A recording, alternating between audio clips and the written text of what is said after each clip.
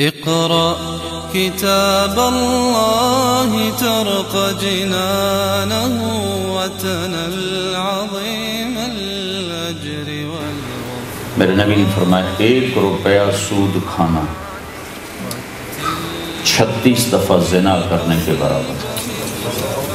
ایک روپے یعنی ایک پاؤنڈ۔ ایک پاؤنڈ سود کھانا چھتیس دفعہ زنا کرنے کے برابر۔ اس کے بعد آپ نے فرمایا، اور تمہیں بتاؤں، سب سے بڑا سود کیا ہے؟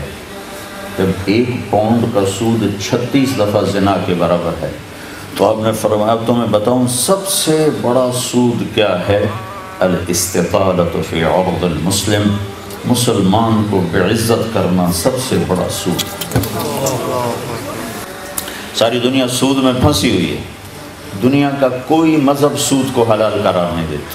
دنیا کا کوئی مذہب، یہودی، عیسائی، مسلمان، ہندو، کوئی مذ، کسی مذہب میں سود حلال نہیں ہے۔ کسی مذہب میں شراب حلال نہیں ہے۔ جو بھی ہے، زبردستی ہے۔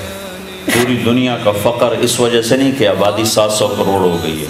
پوری دنیا کہ اکانومی اس لیے تباہ ہے کہ سارا کام سود پہ چلا گیا ایک دفعہ میں بہت پرانی بات ہے، کوئی بڑے اللہ کے نیک ولی تھے، میں ان کے پاس بیٹھا تھا تو ایک صاحب آئے۔ کہنے کہ حضرت، اللہ دعا کرو، اللہ رزق حلال دے دے بہت دے دے۔ بہت دے اللہ رزق حلال دے اور بہت زیادہ دے تو آگے وہ بزرگ تھے، اردو نہیں بولتے تھے، پنجابی بولا کرتے انہوں نے بڑے بھول پان گانا کہ چالیس سال پرانی بات ہے، پر ایسے ٹکی ہوئی ہے۔ کہنے لگے، بھائی، حلال تھا تھوڑا ہی ملو۔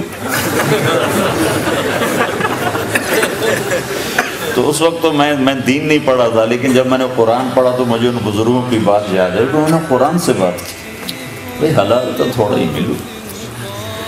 قل لا يستوي الخبيث والطيب بلو اعجبكم كثرة الخبيث۔ انہیں بتا دو۔ حلال اور حرام برابر نہیں ہے۔ اگرچہ حرام بہت زیادہ ہوتا ہے اور اس کی کثرت تمہارے دل کو بہت اچھی لگتی ہے، لیکن یاد رکھنا کہ حرام میں کبھی زندگی نہیں بنتی۔ سود ختم کر دو، ساری دنیا خوشحال ہو جائے۔ حضرت، جب ہمارے نبی پاک صلی اللہ علیہ وسلم نے سود کو حرام کیا حج کے موقع پر، کہ آج کے بعد سود ختم۔ اور میں سب سے پہلے اپنے چچا عباس کا سود ختم کرتا ہوں۔ حضرت عباس پورا بینک تھے تو انہوں نے کہا، میرے نبی نے میرا سود ختم کیا، میں اصل بھی ختم کرتا ہوں۔ اچھا ایک دم دیکھنے میں بہت بڑا نقصان ہوگا۔ لیکن علماء کہتے ہیں، اس کے بدلے میں اللہ نے حضرت عباس کے اولاد حضرت عباس کی اولاد کو پانچ سو پینتیس سال حکومت عطا فرمائی۔ جس کو عباسی حکومت کہتے ہیں۔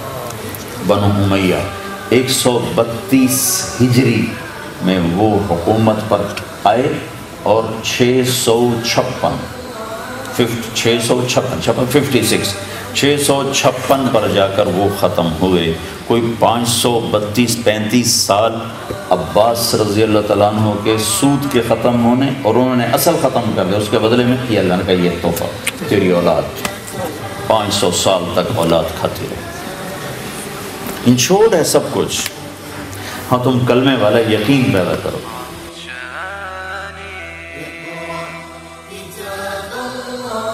كتاب